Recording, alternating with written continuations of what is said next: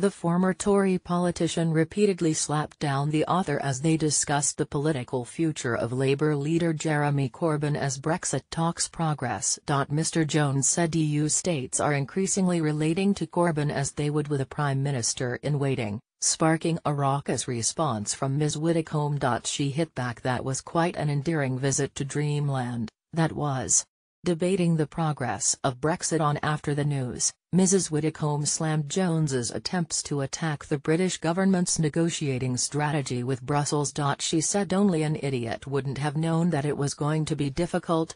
The retired politicians also repeatedly blocked the writer's several attempts to interrupt her mid-speech, saying just let me finish. Be quiet. Stop squeaking. Of course, it was always going to be difficult.